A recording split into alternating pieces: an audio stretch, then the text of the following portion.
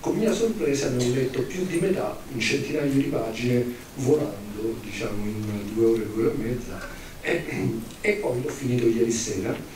E eh, devo dire eh, che quello che diceva poco fa Giancarlo è assolutamente la prima caratteristica di, che ti colpisce, cioè che lo leggi va giù, come si dice di certo vino, va giù come l'acqua. Siamo quindi 11 settembre 1919, giovedì, da un pontile sul Canal Grande a Venezia alle 13.30 un uomo esile, col cranio rasato, il volto pallido e incavato, sale su un motoscafo. Non è solo.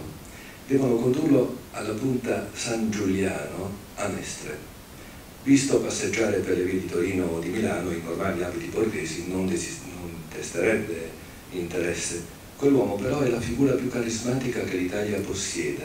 Indossa una giubba di gabardine grigio-verde con il babero bianco dei lancieri di Novara.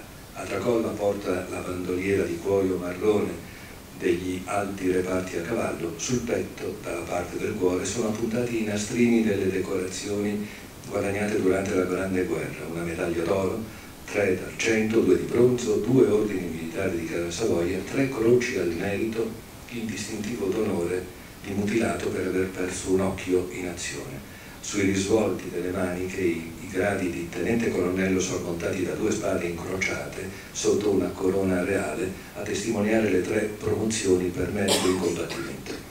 Alberto ha avuto eh, la bella idea di, di eh, raccontare come era vestito nell'incipit del libro D'Annunzio mentre partiva per queste imprese. Eh, e adesso vi leggo le ultime due righe di come si era vestito invece quando tutto è finito. Eh, salto subito alle conclusioni.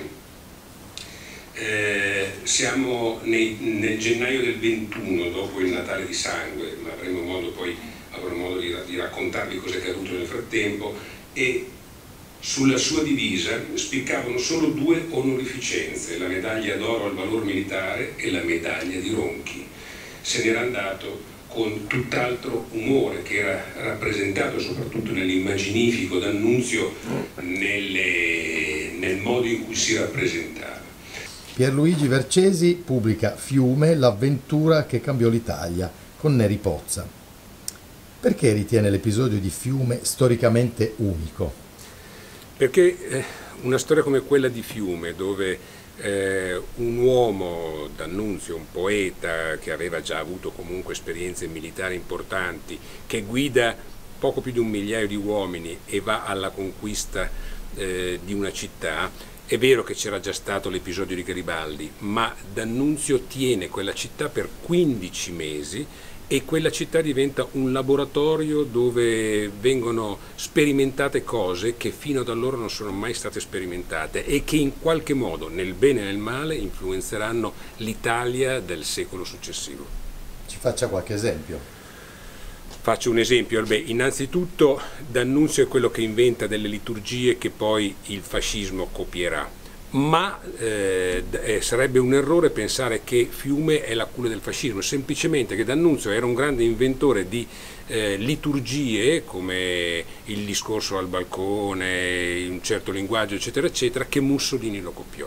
In quel, in quel posto, a Fiume, eh, si formarono eh, le due anime dell'Italia che poi incontreremo per tutto il secolo successivo, per tutto il Novecento eh, una parte eh, spostata a destra, una parte spostata a sinistra, ma soprattutto c'era un'idea forte in, in, mezzo a tutto questo che era quello di creare una nuova società a, piuttosto egualitaria, la Carta del Carnaro ne è una rappresentazione, e dove il fattore culturale, il fattore della crescita culturale della, della della popolazione fosse al centro. Eh, D'Annunzio mise di, di fortemente suo dentro alla, eh, alla carta del Carnaro una cosa che potrebbe sembrare ridicola ma in realtà è interessante e che dice che la, l'esempio la musica è religione di Stato e tutti hanno il diritto di accedere ai teatri gratuitamente.